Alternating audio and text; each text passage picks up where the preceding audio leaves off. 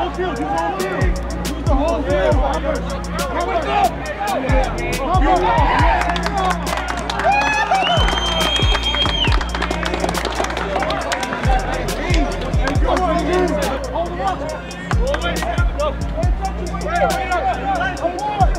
Go, Bobby!